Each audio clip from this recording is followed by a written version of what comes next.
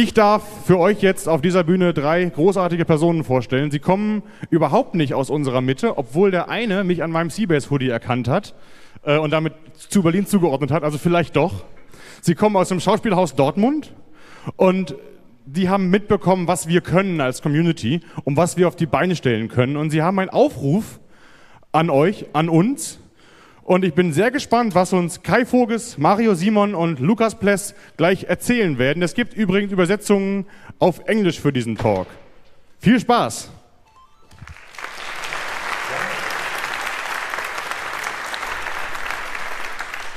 Wir freuen uns, da zu sein. Stellen uns kurz vor. Mein Name ist Kai Voges. Ich bin der Intendant vom Schauspiel Dortmund und Regisseur. Ich bin Mario Simon. Ich bin der festangestellte Videokünstler, Medientyp am Haus. Ich bin Lukas Bless und ähm, ja, irgendwie so der Nerd am Haus, würde ich sagen.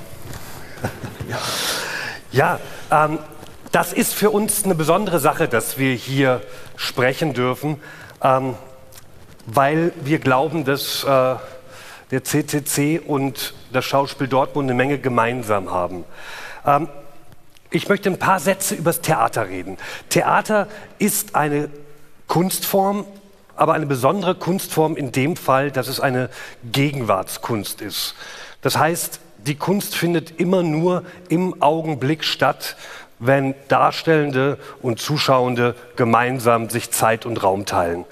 Und ähm, wir haben in Dortmund daraus auch eine Verantwortung rausgezogen, haben gesagt, wenn das das Besondere am Theater ist, dass es eine Gegenwartskunst ist, dann müssen wir auch gegenwärtiges Theater machen. Literatur, die kann seit 200, 400 Jahren in den Bücherregalen stehen. Ähm, Architektur hält lange Zeit und auch die Musik, wenn sie archiviert wird, kann ein bleibendes, ähm, bleibendes Kunstwerk bleiben. Das Theater verschwindet als bleibendes Kunstwerk, dann gibt es Mitschnitte, die keiner sehen möchte, weil dann doch das Kino dann doch aufregender ist. Ähm, die Chance des Theaters, dass es eine Gegenwartskunst ist, ist, dass es auf die Themen der Zeit reagieren kann. Und wir haben uns gefragt, wie machen wir denn oder was ist denn überhaupt, was sind die Themen der Zeit? Und ähm, das Schauspiel Dortmund hat gesagt, ähm, wir glauben, dass die Globalisierung, die Migrationsbewegungen und die Digitalisierung, ähm, dass das die großen drei Themen der Gegenwart sind, mit denen wir uns beschäftigen müssen, die unseren Blick auf die Welt, äh, diese Themen verändert. Und ähm, wir müssen neue Neues, neue Gedanken finden, neue, neue Ideen finden ähm, für den Umgang ähm, ja, im digitalen Zeitalter, im globalisierten Zeitalter. Wenn wir ein Theater der Gegenwart machen wollen ähm, über diese Themen äh, Digitalisierung, Globalisierung, Migration, ähm, dann reichen eigentlich diese Stücke gar nicht mehr aus, dass man Romeo und Julia erzählt und sagt, naja, die zwei kennen sich und dann dürfen sie aber nicht und dann ähm, laufen sie weg und treffen sich heimlich und ähm, irgendwann sind sie tot oder wenn es eine Komödie ist, heiraten sie dann zum Schluss. Das sind so einfache ähm, Erzählstrukturen, die vielleicht jetzt nicht den Kern der gesellschaftlichen Problematik im digitalen Zeitalter so greifen. Und wie schaffen wir das? Geschichtserzählungen zu machen fürs digitale Zeitalter. Und wir haben euch vier Beispiele mitgebracht und eine Suche, wie wir versuchen, gegenwärtiges Theater zu machen. Das erste Stück, was ich euch präsentieren möchte, ist die, äh, das goldene Zeitalter, 100 Wege, dem Schicksal die Show zu stehlen. Und ähm, wir haben gesagt, wenn diese einfachen Narrative nicht mehr funktionieren, weil wenn man die Zeitung aufschlägt, dann steht da neben dem Mediamarkt Sonderangebot ähm, und den Lottozahlen die Sportergebnisse und die Flüchtlinge, die im Mittelmeer ertrunken sind, ähm, die, äh, die Dinge gehören irgendwie nicht zusammen. Und äh, diese äh, mediale Überwältigung die so, wie äh, Douglas Rushkoff sagte, die so zu einem Gegenwartsschock kommt. Ähm, vielleicht müssten wir mit den einzelnen Teilen mal anfangen zu spielen, ähm, die auf uns hereinkommen, um vielleicht Herr über diese mediale Welt zu werden und nicht mehr unter Schock zu stehen. Ähm, ich war ganz begeistert von der Möglichkeit von ähm, Ableton Live, von dieser Software, die ähm, wo man Loops erstellen konnte und immer wieder neue Loops miteinander verbinden konnte und dachte, wie würde das denn aussehen, wenn diese digitale Technologie mal live auf der Bühne stattfinden würde. Und so haben wir uns Samples gebaut. Sechs Schauspieler, ähm, ein Videokünstler, ähm, zwei Musiker ähm, und eine komplette Technik ähm, im Theater drumherum. Ähm, und wir haben Samples gebaut aus Musik, aus live gesprochener Sprache, die aufgenommen worden sind, auf, aus Gesten ähm, und aus Theatertexten ähm, von, ja, äh, von Tschechow bis zu Ein Colt für alle Fälle. Wir haben ähm, den Mash-up von äh, Kultur der letzten 2000 Jahre in kleine Häppchen geteilt und die aufeinander ähm, stoßen lassen. Ähm, und das zeige ich euch mal, dass ihr so eine Idee habt, wie das ausgesehen hat.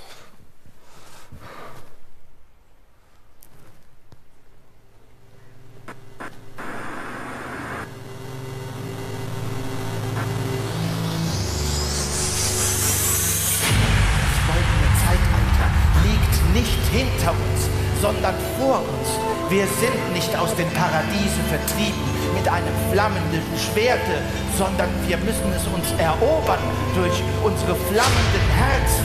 Die, die Frucht der Erkenntnis bringt uns nicht den Tod, sondern das ewige Leben.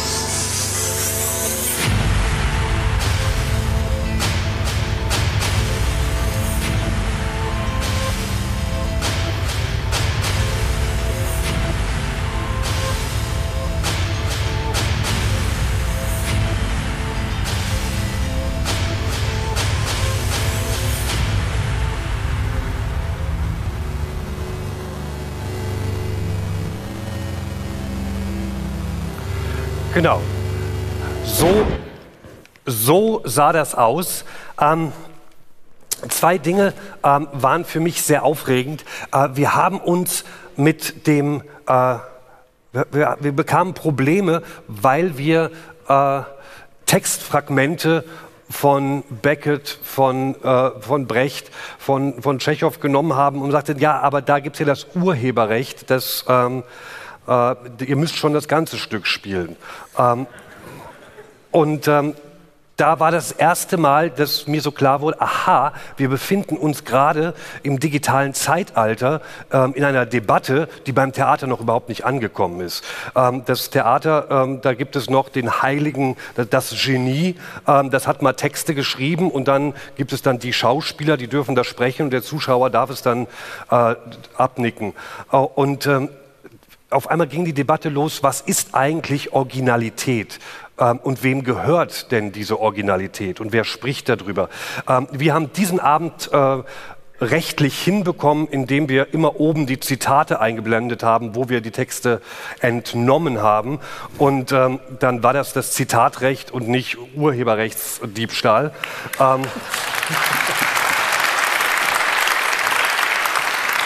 Und das war so der erste Moment, äh, wo ich dann auch ähm, mit dem Chaos Computer Club so zusammenkam, weil da dachte ich, da gibt es jetzt ähm, Netzpolitik, da gibt es Leute, die diskutieren da seit längerem drüber, schon länger als ich Bescheid weiß. Das wird aufregend, äh, da die Debatte weiterzuführen. Das floss in diesen Theaterabend rein, der immer wieder fragte, was bin ich eigentlich äh, an, als Individuum? Bin ich eigentlich einmalig oder bin ich nur ähm, eine Kopie einer Kopie einer Kopie. Ähm, das sah man nicht nur in den Kostümen, wie man es da sieht, sondern das wurde auch ähm, von den Bildern. Ihr habt die Treppe gesehen, die man runterging und über drei Stunden lang liefen Schauspieler die Treppe herunter. Und ähm, äh, wir nahmen immer das Treppengehen auf und setzten das Aufgenommene dann in das Verhältnis zu dem Live-Treppen heruntergehen, sodass man das Vergangene und das Gegenwärtige abgleichen konnte und da Samples daraus herstellen konnte und auch mitkriegen, wie langsam so eine ähm, Ermüdungserscheinung einsetzte und Materialermüdung bei den Schauspielern, die nach drei Stunden Treppe laufen, auf einmal anders anfangen zu laufen. Ähm, eine Sache noch dazu, weil das ist auch noch ein Weg, der uns hier zu den äh, Hackern führte, ähm, war, dass wir eine Tür hatten und diese Tür musste sich öffnen. Und im Theater ist es so, da gibt es dann Techniker, die stehen da mit einer Seilwinde und die machen sie auf und wieder zu. Ähm, dann gab es aber die Ansage, dass der Ton bitteschön noch jedes Mal, wenn die Tür aufgeht, ein Geräusch macht und wenn die Tür zugeht, gibt es ein Geräusch. Und als drittes ähm, war es dann noch so, dass jedes Mal, wenn die Tür aufgehen sollte, Lampen angehen sollten und Lampen ausgehen sollten. Im normalen Theater läuft das System dann so, es gibt eine Inspizientin, einen Inspizienten, das ist Stage Manager, ähm, und die gibt Zeichen, die sagt dann Achtung für Tür auf, Achtung für Tontür auf, Achtung für Lichttür auf und Tür auf. Und dann kriegen, dann leuchten so Lampen und alle drei machen dann so eine Sache ähm, und dann äh, sagt Achtung für Tür zu, Achtung für Licht aus, Achtung für Ton und wieder so. Und das waren bei 800 Mal die Tür auf und zu machen ähm, eine ziemliche Arbeit, dass ähm, die Kollegen an den Schnüren und an den Knöpfen keine Lust mehr hatten. Ähm, und da fing es mal an zu sagen, wir müssen, glaube ich, mal anfangen, ein Hack zu erstellen, wie das funktionieren äh, kann. Und äh, können wir nicht irgendwie hydropneumatisch diese Türe öffnen lassen ähm, und die Auslöser gleichzeitig als Impuls per ähm, MIDI ähm, rübersenden an Licht und Ton. Und ähm, so war unser erster technischer Hack am Schauspiel Dortmund entstanden. Und ähm, es wurde dann eigentlich schlimmer. Und so komme ich dann zur nächsten Arbeit. Ähm, und zwar ist das die Borderline-Prozession. Ähm, die Borderline-Prozession entstand 2015 ähm, bei dem Denken über Europa. Ähm, ich blickte so auf die ähm, ja, Train of Hopes, die nach Dortmund kam und äh, auf die Toten im Mittelmeer und fragte mich, warum debattieren wir eigentlich aus deutscher Sicht eigentlich immer? Wir, wir erzählen über die Welt, weil wir es nicht anders können, immer nur aus der Perspektive, in der wir sind. Wir äh, erzählen aus ähm, dortmunderischer Sicht, aus nordrhein-westfälischer Sicht, aus deutscher Sicht, vielleicht aus, aus europäischer Sicht. Ähm, toll wäre doch, man könnte wie mit so einer Drohne ähm, die Sichtweisen ändern und man könnte um die europäischen Grenzzäune herumfliegen und ähm, die Problematik ähm, und die, ähm, ja, die verschiedenen Haltungen dadurch verstehen, dass man eigentlich herumkreist. Herumkreist immer wieder nur um die Borderlines. Und ähm, dann fiel mir ein, es gibt die Geschichte, ähm, wo Josua ähm, Joshua at the Battle of Jericho. Der äh, Josua lief um Jericho herum sieben Tage lang und sie trompeteten. Und ähm, am siebten Tag brachen dann die, die Mauern ein und es wurde eins. Es gab nicht mehr das eine und das andere, sondern es gab was Drittes. Es gab nicht mehr die These und die Antithese, sondern es gab eine Synthese. Und vielleicht müsste man über Europa auch so denken, dass man das hier und das da so lange kulminieren lässt, bis es nur noch ein eins gibt davon. Das so als, als Fantasie und dachte mir, vielleicht müssten wir ähm, eine, ein Bühnenbild bauen, das äh, aus, zwei, aus einem Hier und Da besteht und in der Mitte ist eine große Mauer. Ähm, hier sieht man die eine Seite des Bühnenbilds, ein Badezimmer, Schlafzimmer, Wohnzimmer, Küche. Da ist so ein Vorgarten mit so einem, äh, einer Terrasse und unten ein, ähm, eine Garage. Ähm, da oben sieht man äh, drei Leinwände. Auf der einen Leinwand in der Mitte sieht man schon ein Auto. Das steht auf der anderen Seite. Ähm, und auf der anderen Seite, ähm, da gibt's äh, da kann man von außen die Wohnung angucken. Da sind die Soldaten, die aufpassen, dass keiner in die Wohnung reinkommt. Da ist ein, ähm, ein Kiosk, eine Bushaltestelle, ein Auto. Und wir haben eigentlich so ein Bild von zwei Welten, von innen und außen von warm und von kalt. Und ähm, in der Mitte steht eine riesig große Mauer. Die Zuschauer hatten die Chancen, auf zwei Seiten äh, zu sitzen. Also die einen saßen jetzt da, wo sie sitzen ähm, und konnten sich diese Sache angucken, die anderen saßen gegenüber. Aber eine Prozession, ähnlich wie äh, in Jericho, fuhr um das Bühnenbild herum und ähm, die Bundeslade wurde eingetauscht gegen ein Kameradolly, auf dem ein, äh, eine Kamera und ein Kameramann drauf saßen. Und die fuhren die ganze Zeit dreieinhalb Stunden im Kreis und zeigten uns immer, das, was wir nicht sehen können, oder zeigten uns ein Videobild von dem, was wir sehen konnten. Und wie das ungefähr so ausgesehen hat, was dann oben auf den Leinwänden lief, zeigen wir jetzt mal.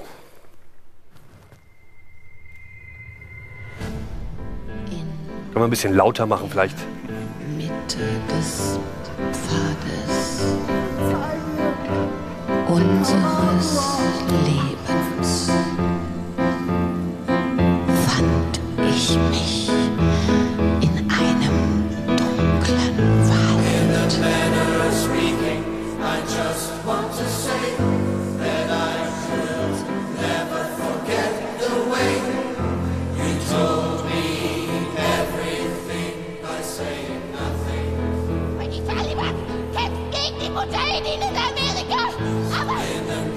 Was sind das für Zeiten, wo ein Gespräch über Bäume fast ein Verbrechen ist, weil es ein Schweigen über so viele Untaten einschließt. Zuerst komme ich. Dann kommst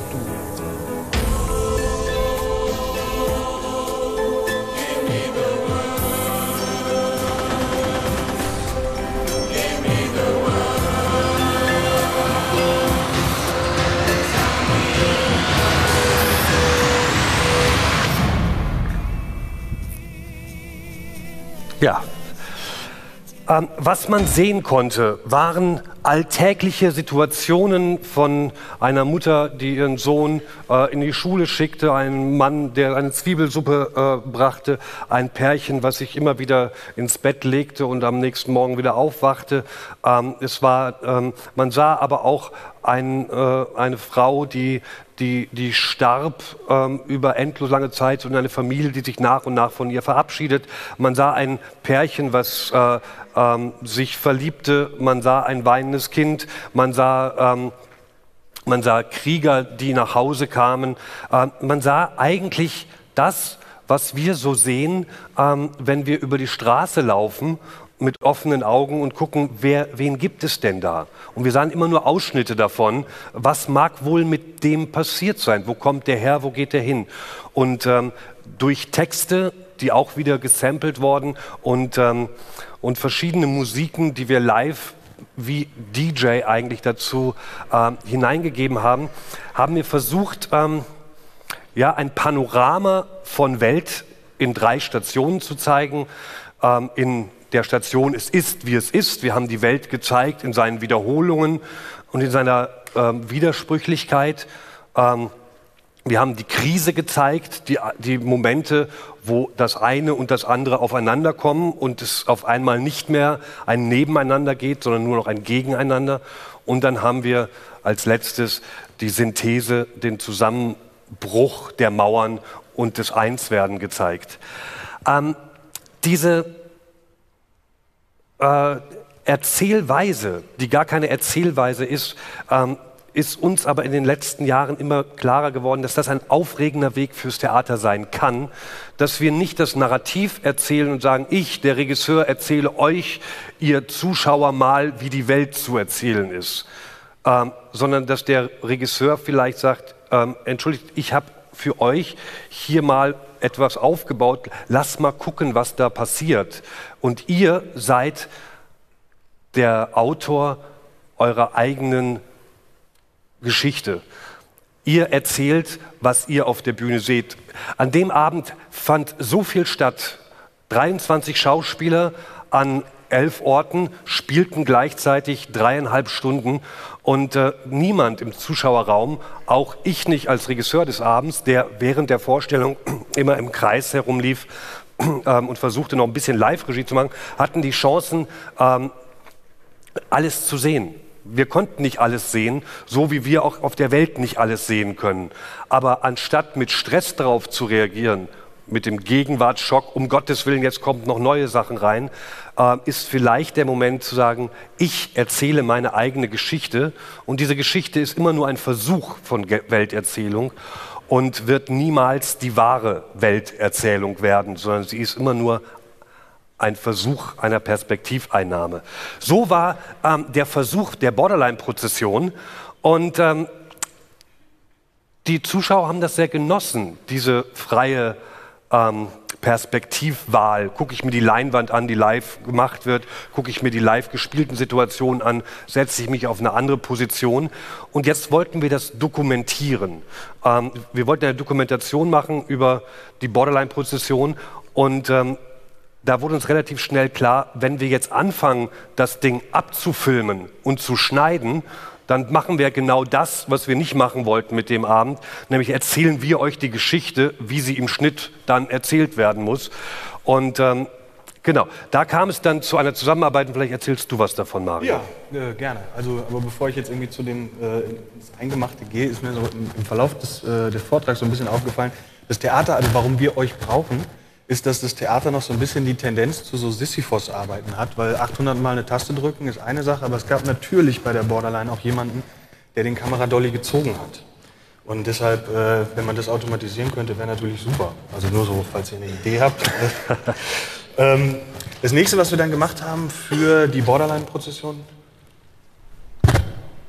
Hast du nicht mehr? Das sind deine Barthaare. Oh.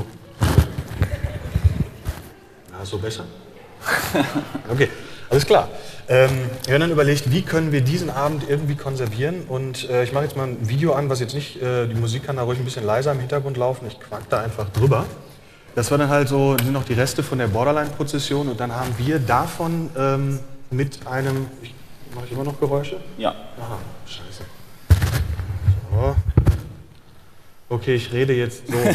ähm, wir haben dann äh, mit einem, Laser, äh, einem Laserscanner haben wir dann im Prinzip ein Point Cloud Modell von der Borderline-Prozession erstellt, von dem wir dann nachher auch ein, ähm, eine VR-Experience gemacht haben. Und es war jetzt nicht nur ähm, mit der Borderline alleine, sondern eben auch in Kombination mit einem Stück, was wir dann nach der Borderline-Prozession noch gemacht haben. Das war Hell, ein Augenblick. Und da ging es halt eben um dieses ganze Ding gegenwärtig, Erinnerung und äh, auch der Tod. Und dann haben wir halt so gesagt, so, wir nehmen nicht nur eine äh, Konservierung der Borderline-Prozession, sondern wir machen daraus quasi wieder ein Mash-up und was komplett Neues. Und so haben wir dann die Texte äh, der Spieler aus dem, äh, aus dem Stück Hell und eben das Bühnenbild genommen. Wir haben die auch noch mit, das sieht man jetzt leider im Trailer nicht, weil der äh, aus einem sehr frühen Arbeitsstand war. Wir haben auch mit der Kinect-Kamera im Prinzip die Schauspieler eingescannt und auch die Szenen gemacht. Dann sind wir noch mit einer 360-Grad-Kamera da reingegangen und haben dann einzelne Szenen auch noch gespielt, die dann in der VR-Experience, die wir zusammen mit den Cyberräubern, äh, die sind relativ weit vorne bei diesem ganzen VR-Kram für die Übersetzung, die wollen immer Cyberrauber übersetzt werden, weil irgendwie äh oder so. Und ähm, mit denen haben wir das dann zusammen gemacht und haben dann eben diese digitale Variante der Bühne, was jetzt, ähm, das war in unserer Interimsspielstätte, die wir jetzt leider nicht mehr haben. Und es ist einfach nur total irre, wenn man so einen Raum komplett eingescannt hat. Man sieht es halt, äh, die Daten sind unten drunter dass man den jetzt auf einmal wieder betreten kann, obwohl es diesen Raum gar nicht mehr gibt. Also wir haben dann eben dieses Point Cloud Modell gemacht und haben dann 25.000 Fotos gemacht, die alle da drauf gerechnet wurden. Genau da sieht man das mit der Kinect-Kamera, dass dann da einzelne Szenen gemacht wurden und die kann man sich dann ähm, also es ist halt äh, so, wir haben, wir haben mit den Cyberräubern zusammengearbeitet, die hatten dann aber wieder andere Projekte, die sie verfolgen wollten. Und wir haben halt jetzt so, wo ich so denke, wir haben einen Datensatz, mit dem wir unglaublich viel machen könnten, wo jetzt aber gerade nichts passiert, was ein bisschen schade ist. So, wo ich mir auf jeden Fall wünschen würde, dass man da nochmal Kooperationen starten kann, um dieses Ding nochmal weiterzumachen. Aber ich glaube, den Datensatz, den wir da haben, der ist ganz schön geil. Und wenn ihr... Äh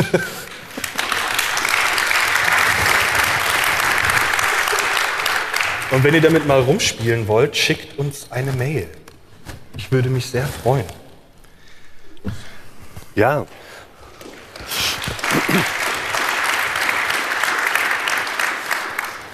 Äh, genau, jetzt habt ihr mich wieder an, ja.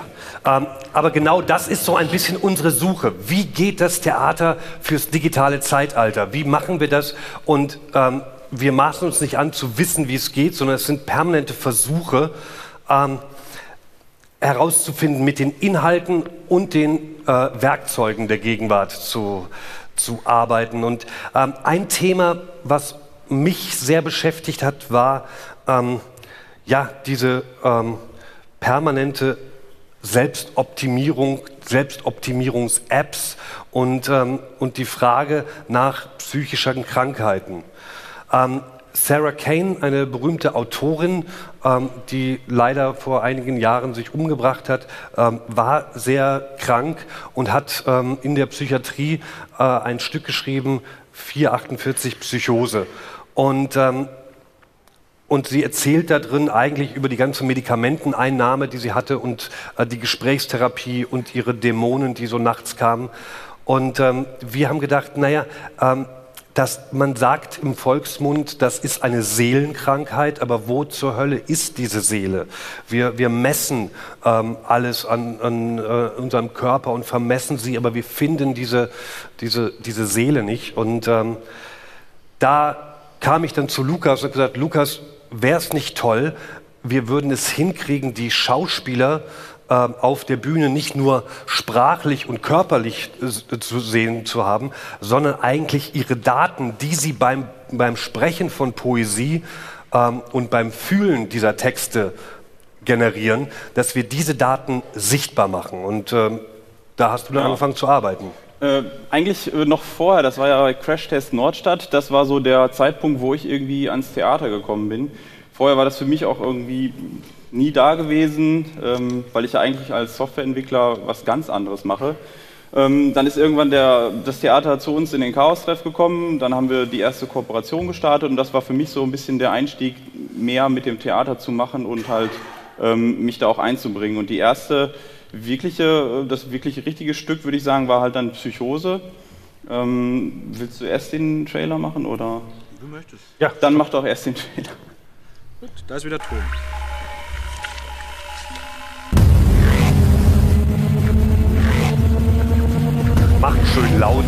Dann knallt's ein bisschen.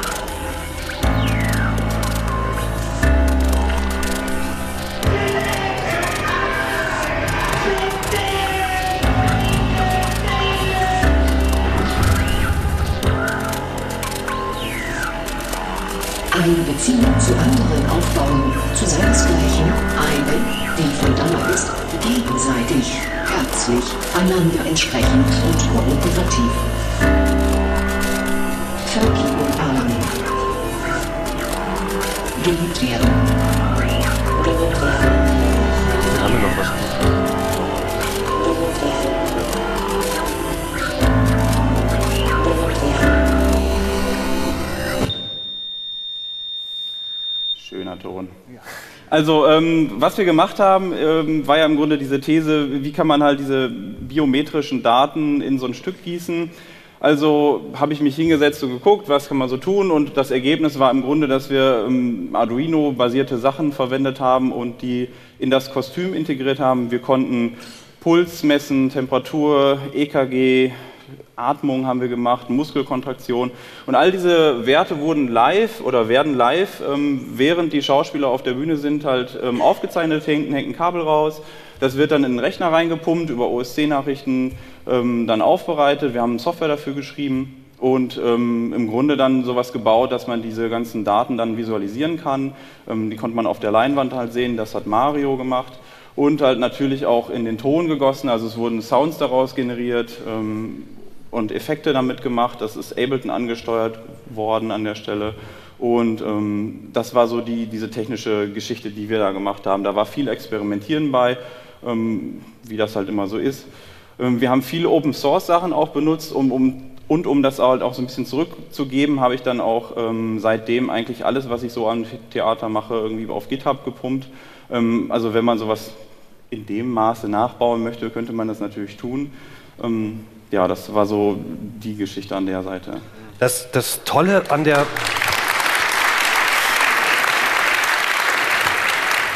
Das, das Tolle und das Wichtige im, ähm, beim Theater im digitalen Zeitalter ähm, ist für uns so geworden, dass es eben nicht mehr der heilige Autor ist, der alles beherrscht oder der heilige Schauspieler, sondern es ist eigentlich das Team. Es ist das Team, ähm, die Dramaturgen, die Schauspielenden, äh, die, die, die Techniker, Licht, Ton, alle, die zusammen als Team Theater machen. Ähm, und das sieht man hier ganz gut. Da sehen wir ähm, unseren Musiker, Video, ähm, unsere Dramaturgin Anne-Kathrin Schulz, die macht Live-Texting, die schreibt, was dann auch noch auf die Leinwände live draufkommen, ähm, live mischen.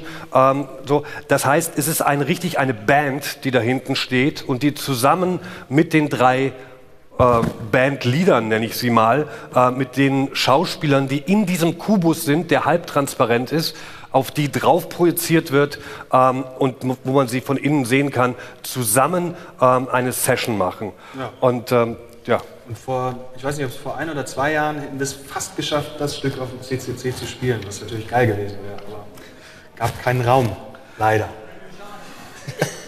Ähm, kommen wir zum, zum letzten Stück, was wir präsentieren wollen. Ähm, das ist unsere ja, jüngste Arbeit. Die hat im Sommer Premiere gehabt. Äh, Parallelwelt, die Parallelwelt. Und zwar, ähm, wenn wir uns darüber unterhalten, ja, wie, wie geht denn die Narration heute? Und wie müssen wir eigentlich denken, ähm, dass Geschichten laufen? Und ähm, ist es nicht absurd, dass überall auf der Welt seit äh, zig, hundert Jahren Hamlet gespielt wird und immer wieder sagt man, das ist jetzt die Hamlet-Stelle, sein oder nicht sein. Ähm, diese Gleichzeitigkeit ähm, an verschiedenen Orten zur gleichen Zeit. Ähm, wir erzählen immer von Körpern auf der Bühne und das ist dann die Wirklichkeit. Aber eigentlich gibt es diese virtuelle Wirklichkeit auch noch woanders. Irgendwo anders stehen andere Menschen auf der Bühne. Und ist denn ein Theater wirklich nur so eine Guckkastenbühne, wo man so ähm, vorsitzen kann und reingucken kann? Oder ist ein Theater nicht auch ein Raum, der sich ausweiten kann? Und so haben wir ähm, das Berliner Ensemble gefragt, ob sie mit uns zusammen ähm, ein Stück machen würden, was wir per Glasfaser miteinander verbinden würden. Wir haben dafür sieben Schauspieler aus Dortmund und sieben Schauspieler aus Berlin zusammengetan. Ähm, wir hatten, jedes Team hatte zwei Kameramänner, zwei, ähm, zwei äh, Mischer ähm, und wir haben zweimal das identische Bühnenbild gebaut ähm, und haben das äh, und haben eine Geschichte erzählt über Parallelwelten, ähm, über Quantenphysik und ähm, eine, einen Versuch gestartet, für das Theater im digitalen Zeitalter können wir ähm, mit Menschen Theater spielen, obwohl wir gar nicht Raum teilen mit ihnen. Und vielleicht stimmt das gar nicht, was ich Ihnen Anfang gesagt habe, dass Theater der Ort ist, wo Raum und Zeit miteinander geteilt wird.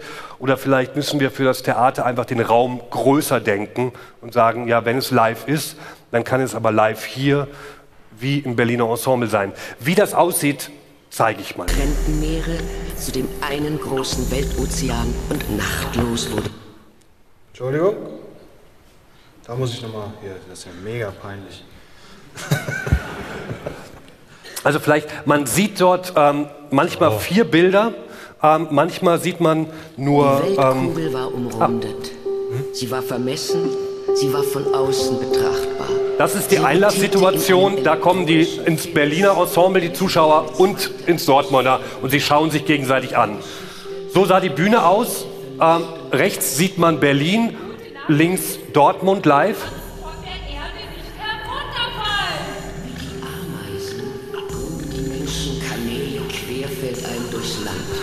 Als sie dann die Schleusen öffneten, verbanden sich die einst getrennten Meere zu dem einen großen Weltozean und nachtlos wurde die Erde. Ich, Braut, hatte gesagt, erstens keine unangekündigten Hochzeitsspiele auf meiner Hochzeit und zweitens, niemand ist schöner als die Braut. Eine Welt ohne Abstände, synchron. Und diese Geschichte kennt keinen Schluss, denn die Schleusen schlossen nicht mehr. Sie werden nicht schließen. Sie werden nie wieder schließen.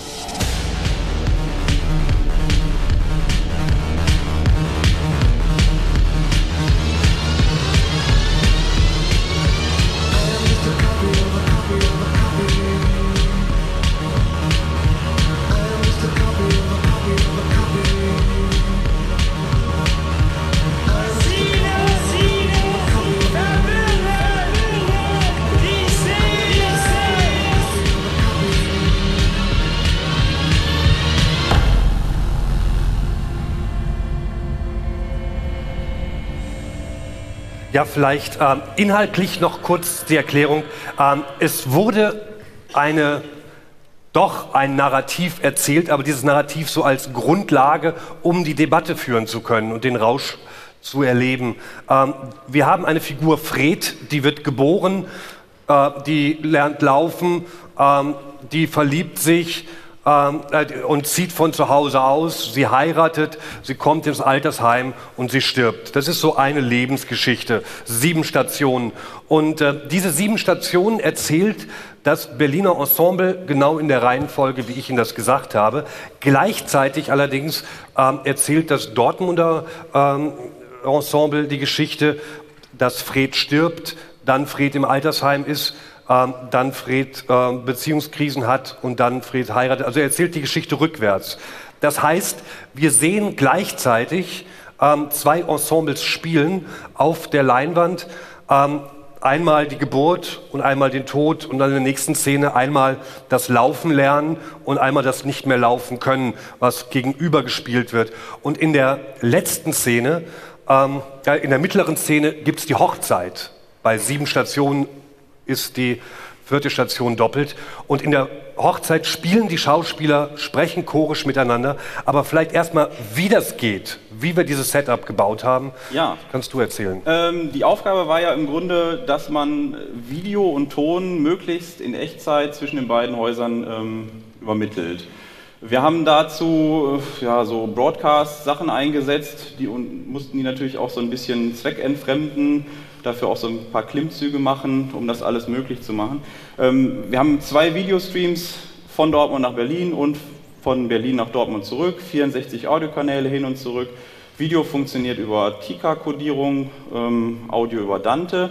Da die Geräte das eigentlich so nicht wollen, weil die das eigentlich so was wie hier in der Messe haben wollen, also in einem Raum äh, oder in einem Gebäude, nicht aber durch die ganze Republik, mussten wir da so ein bisschen was basteln.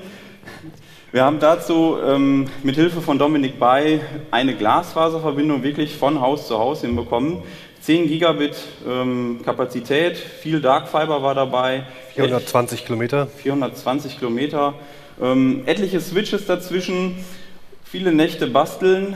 Ähm, ja, und im Endeffekt haben wir es dann geschafft, halt wirklich mit 4,7 Millisekunden Latenz ähm, diese Kommunikation ähm, stattfinden zu lassen. Äh, das ist halt.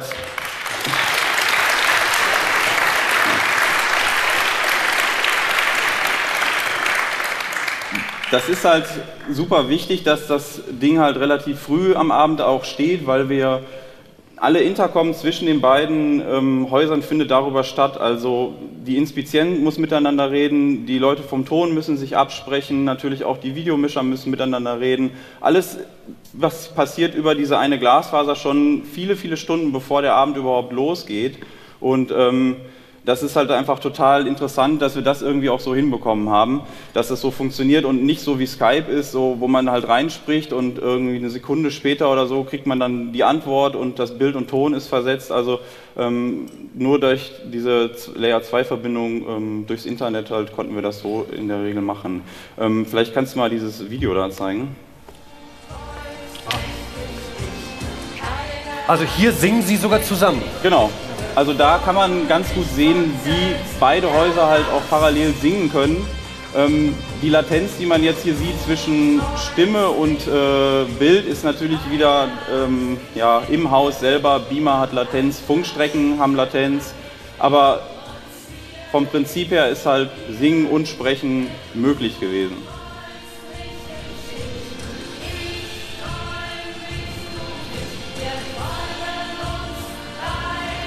Vielleicht kann man es noch ein bisschen lauter machen, weil man ein bisschen was versteht. Verehrte Festgemeinde, wir feiern Also da sprechen jetzt zwei chorisch gerade.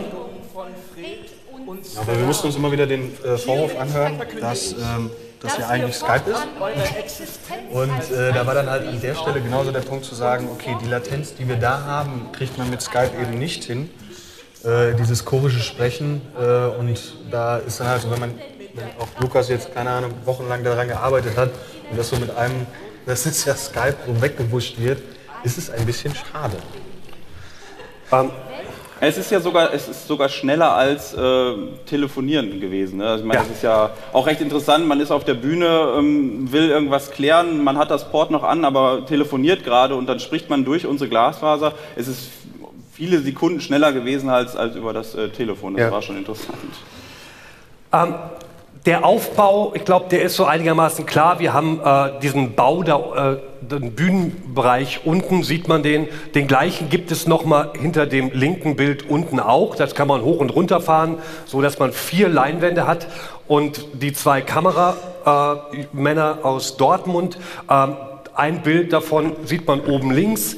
Und äh, das gleiche passiert gerade in Dortmund. Davon sehen wir das Bild jetzt hier ähm, links unten und rechts oben. Bitte? Das war Berlin. Das da- das ist Berlin, du hast recht. Oben ist. So, und das ist nämlich interessant.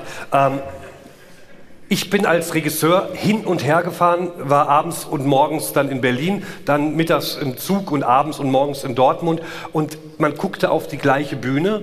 Ähm, man sprach und machte Regieanweisungen mit dem Mikrofon. Das hörte man in Dortmund und Berlin auch. Und da alle Schauspieler auch Ports hatten, äh, hörte ich sie auch und sah ihre Bilder, ähm, dass ich irgendwann wirklich in Zeit und Raum verloren ging. Ich wusste nicht mehr genau, wo ich gerade arbeite, aber irgendwo zwischen Berlin und Dortmund musste es gewesen sein. Ähm, Bad Sitz, und Bad, wie heißt es noch? Salzgitterbad. Salz, Salzgitterbad, das Ja. lag so in der Mitte. Ähm, aber das Spannende ist, ähm, dass diese Arbeit für die Schauspieler und Schauspieler ist ja ein großartiger Beruf, der sehr viel mit ähm, Empathie und mit ähm, ähm, äh, sich einlassen und Mut zu tun hat. Und ähm, dass die, ähm, ich dachte, wird uns denn die Feinheit der Schauspielkunst verloren gehen, wenn wir einander nicht mehr begreifen können, nicht mehr anfassen können? Und ähm, wir haben Monitore reingebaut, dass eigentlich der Ton aus Berlin in Dortmund immer gut zu hören ist und andersrum auch. Und wir haben auch Fernseher eingebaut, so dass man immer noch mal luren konnte, was macht denn die Kollegin oder der Kollege gerade in Berlin oder in Dortmund, ähm, dass man miteinander spielen konnte, so dass man wusste, der ist da. Aber man musste ein bisschen vorsichtiger sein. Man musste, glaube ich, ein bisschen, wir haben da gedacht, wir müssen einander gedenken. Wir müssen ein bisschen äh, sensibler werden für die Leute, die nicht griffbereit neben uns sind, mit denen wir aber zusammen Kunst machen wollen. Und das fand ich eine schöne Erkenntnis, ähm, dass vielleicht sogar ähm, eine Distanz, äh, eine größere ähm, Achtsamkeit äh, fordert in, im Arbeiten damit. Das waren jetzt vier Beispiele für ähm, was wir so getan haben. Man könnte noch viel, viel mehr erzählen äh, aus den letzten neun Jahren. Ähm, uns beschäftigt das. Wie geht die Erzählung für das digitale Zeitalter und wie können wir das im Theater machen? Und ähm, unser Problem ist, dass diese vier Projekte sehr, sehr viel Arbeit gemacht haben, auch in der Vorbereitung wahnsinnig anstrengend waren ähm, und dass dem normalen Theaterbetrieb ähm, drei Sachen so fehlen. Zum einen fehlt dem normalen Theaterbetrieb Zeit, zu sagen, wir, in sieben Wochen wird etwas ähm, auf die Bühne gebracht, dann kennen wir den Text, dann wissen wir, was wir erzählen wollen, dann steht die Bühne und dann kommt das Ding raus. Das geht mit so einer Programmierung ähm, wie Psychose oder wie ähm, auch Parallelwelt, ähm, da war, weiß Gott, mehr Arbeit dahinter. Genau, als also da haben wir natürlich schon Wochen vorher irgendwie uns zusammengesetzt, geguckt, was, was wir überhaupt machen wollen. Man setzt sich irgendwie in den Space, bastelt mit Arduino rum, lötet irgendwelche Platinen, probiert halt aus und bringt das dann mit in die Probe. Ja, und ähm, so äh, plädiere ich sehr dafür seit einiger Zeit, ähm, dass wir einen Ort in Deutschland brauchen, wo wir forschen können für das Theater im digitalen Zeitalter. Und ähm, und äh, damit sind wir jetzt viel hausieren gegangen. Und es ist wahr, wir werden am 1. Januar ähm, die Akademie für Digitalität und Theater ins Leben rufen. Ähm, und die Akademie für Digitalität und Theater wird jetzt langsam anlaufen. Ich denke, in anderthalb Jahren sind wir soweit, kannst du ruhig das nächste Mal machen. Ähm, soll ein Labor für Forschung werden. Wir wollen ähm, pro Jahr 20 Menschen ein Stipendium geben, zu forschen äh, im Grenzbereich zwischen Digitalität und darstellender Kunst. Ähm, da werden wir im März die ähm, Ausschreibformalias raussenden und das erste Stipendium, die ersten zehn Stipendiaten sollen ab August zu uns kommen, fünf Monate für ähm, ein Stipendium kriegen zum Forschen in der Akademie. Ähm, und das soll eine kontinuierliche Reise sein, sodass man mal Zeit hat, keinen finanziellen Druck, dass man Räume hat. Ähm, und das ist das eine wichtige, das Stipendiatenprogramm, was die Akademie für Digitalität und Theater will. Ähm, wir bieten ein Qualifizierungsprogramm mit der Deutschen Theatertechnischen Gesellschaft an und wir wollen ähm, den Theatermitarbeitern aus Licht, vom Licht, vom Ton, ähm, von der Requisite, überall eigentlich sagen, wie können wir mit den Möglichkeiten der Digitalisierung unser Handwerk im Theater verbessern, gegenwärtiger bekommen. Da sollen Fortbildungsangebote ähm, stattfinden, regelmäßig für Theatermitarbeiter und vielleicht ähm, auch für sonstige Interessierte.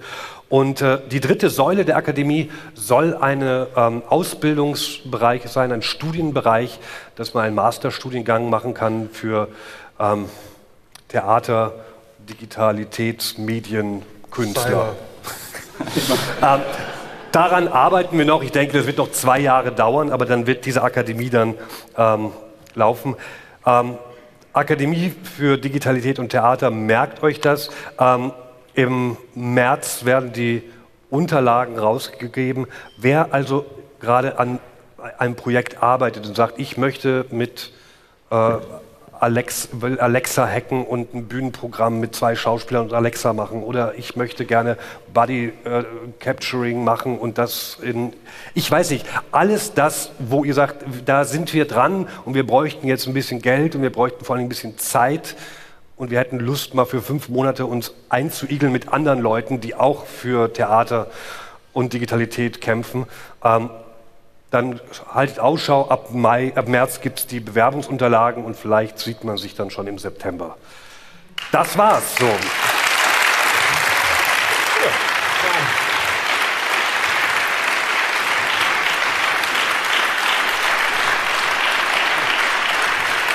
Herzlichen Dank. Ja, der Talk hatte alles, viel Technik auf der Bühne, die mal funktioniert hat. Ähm, ihr habt die Dinge auch alle nochmal für uns auf den Screen gebracht. Also das ist ja nicht nur Theater, das ist jetzt Theater übers Theater.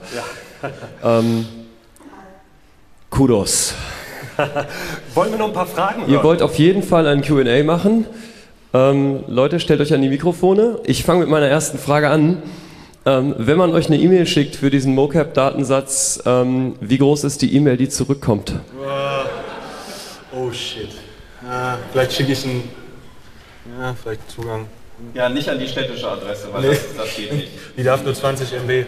Ähm, also es ist schon, ich weiß gar nicht, wie viel war das, auf jeden Fall diverse Terabyte. Also alleine die 25.000 Fotos in RAW sind ja schon ganz schön viel, aber man kann ja vielleicht auch einen etwas leicht bearbeiteten Datensatz schon mal rausschicken. Also es gibt auch irgendwie eine Web-Applikation dafür, dass man sich das mal angucken kann, aber wenn da wirklich Interesse dran besteht, bitte Bescheid sagen. Ja, bringt es einfach beim nächsten Mal hier fürs Colo-Hosting mit.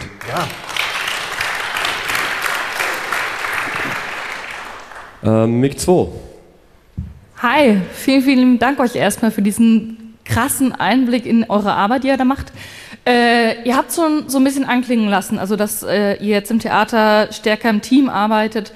Ähm, und deswegen würde mich interessieren, ob ihr das Gefühl habt, dass äh, durch eure Produktion nicht nur das Theater nach außen, sondern auch das Theater sich nach innen hin mitunter verändert. Also vielleicht auch innere Strukturen, die ich jetzt nicht kenne außerhalb des Theaters, innerhalb des Theaters sich durch diese neue Zusammenarbeit irgendwie verändern und wenn ja, in welche Richtung?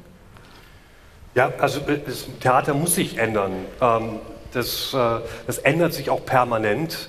Ähm, das ist ja ein wild wachsendes Gebilde seit vielen tausend Jahren schon.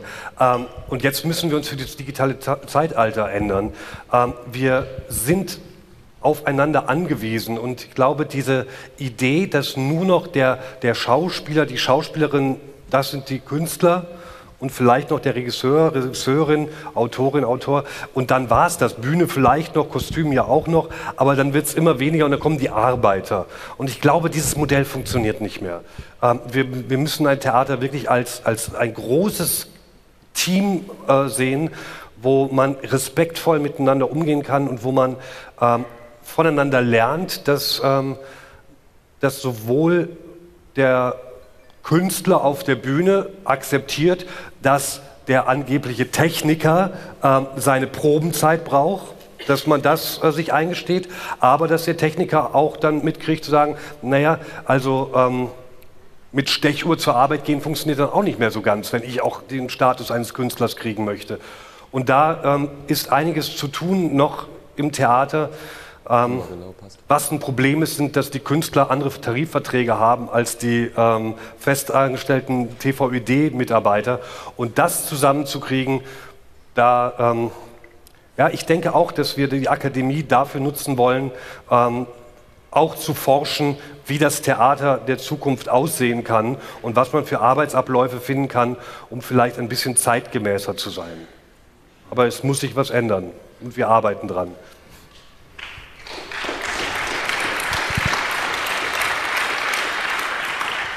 Mick 1.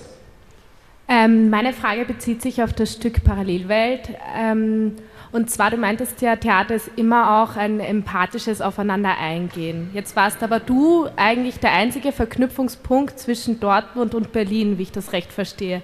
Oder gab es da bei den Proben ein Aufeinandertreffen? Ja, also bitte. Und zwar, wir haben äh, die ersten fünf Wochen haben wir in Berlin zusammen auf einer Probebühne geprobt und sind dann quasi erst äh, in die getrennten Häuser gegangen. Also es war auch total wichtig, dass man da jetzt nicht nur sagt, es spielen einfach zwei Häuser zusammen, sondern dass da zwei Ensembles zusammenwachsen. Und das war ein wichtiger Prozess, deshalb haben wir die Proben in Berlin halt gemacht. Entschuldigung, ich weiß, ich bin hier. Ja, und vielleicht was ganz Spannendes. Also, ähm, da wir ja alle miteinander verbunden waren, also ich war der Einzige, der die Chance hatte, jeden Mal äh, körperlich nahe zu kommen, weil ich gereist bin. Ähm, in den letzten drei Wochen waren eben die Dortmunder hauptsächlich mit den Dortmundern und die Berliner mit den Berlinern, aber körperlich. Wir haben uns jeden Morgen voreinander hingesetzt, die Kamera auf die Bühne, äh, die Leinwand war projiziert und wir konnten in Berlin in den Dortmunder Zuschauerraum reingucken und unsere Kollegen sehen. Und wir hatten alle Ports und dann haben wir angefangen zu erzählen und wir haben äh, Debatten geführt, wie wir die Szene besser führen und wie wir das machen. Also ich glaube, wir waren sehr nah beieinander, nur nicht körperlich eben. Danke. Ja. Okay, Mick 2 nochmal.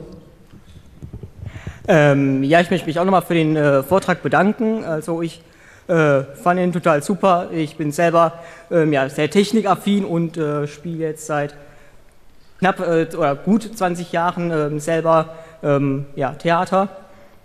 In letzter Zeit hauptsächlich Improvisationstheater und darauf bezieht sich jetzt auch meine Frage, inwieweit ähm, die Ideen äh, sich auch auf das Improvisationstheater übertragen lassen. Ja, ganz sicherlich.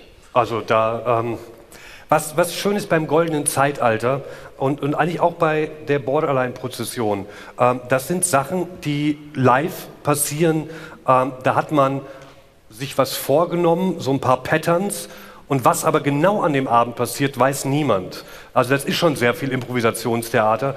Und ähm, in beiden Stücken habe ich ein Headset an und bin mit Mario verbunden, bin mit dem Musiker verbunden, bin mit jemand, der an den Samplegeräten verbunden und ich sage, hey, komm, lass uns das und das mal machen. Ja, pass auf, ich gebe dir das mal rein. Und da wird richtig live gejammt und versucht. Ähm, und ich glaube, dass wir mit den ähm, mit diesen digitalen Spielsachen dann auch richtig spielen können, live im Moment ähm, in die Improvisation rein. Vielen Dank. Ähm, die Zeit geht uns aus. Ihr könnt sicherlich den dreien vorne nochmal hier gleich persönlich Fragen stellen. Ja, Ja, das sicher. ist gut. Ihr bleibt die ganze Zeit über hier, das finde ich gut. Ähm, ja, dann hätte ich Wollen noch wir mal noch gerne. zwei kurze kriegen wir noch oder nicht mehr? Ja, ich höre ja. Wir machen es live. schnell zu sein. Ähm, ich wollte nochmal zurückkommen zu der Frage nach der sozialen und finanziellen äh, Frage in der Zusammenarbeit äh, zwischen Künst, also zwischen den Theatermachern, den klassischen Macherinnen und den äh, TechnikerInnen, vermeintlich ausschließlich. Es gibt ja einige Studiengänge schon, die irgendwie Kunst und Technologie zusammenbringen, auch in Deutschland.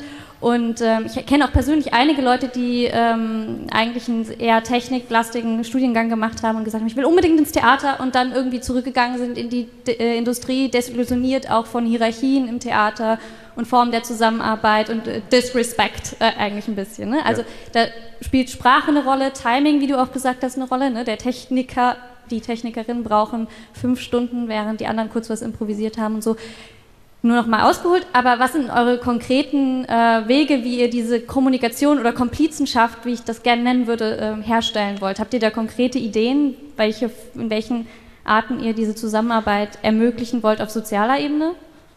Ähm, ne, wir, wir müssen miteinander im Gespräch sein. Wir müssen voneinander lernen. Ähm, und was ich von den beiden Jungs gelernt habe, äh, das ist unglaublich. Und ich glaube, ein bisschen was haben sie auch von mir gelernt. Und ähm, so, so geht das. Äh, in, in, Im gesamten Theater müssen wir die Neugierde haben aufeinander und dieses Klima des Respekts und der Neugierde und das ins Gelingen verliebt sein, das müssen wir schaffen. Und wenn wir das schaffen, kommen wir einander näher und dann müssen wir gucken, dass die Bezahlung dementsprechend auch eine Fairness hat. Ähm, aber wenn du so viele Menschen kennst, die sich danach sehnen, ich glaube, die Theater sehnen sich auch danach, nach Menschen, die, ähm, die hier sind, zu sagen, kommt in, ähm, erobert unsere Theater und macht sie zukunftsfähig und fangt an zu spielen. Also ich würde mir sehr wünschen, weil wir haben das Problem, dass es noch viel zu wenige sind.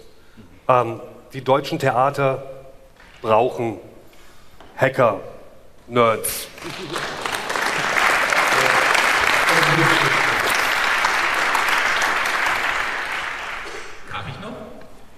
Das war's. Wir haben hart überzogen. Tut mir leid. Vielen Dank. Danke auch. Dankeschön.